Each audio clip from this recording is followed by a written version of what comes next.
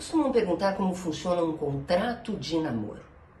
Não é contrato, é uma declaração, é um meio de prova importantíssimo para que namorados não sejam confundidos com companheiros, ou seja, para que um namoro que não gere efeitos jurídicos é, não seja confundido com uma união estável que gera efeitos jurídicos, e efeitos jurídicos importantíssimos, parecidos com os do casamento civil.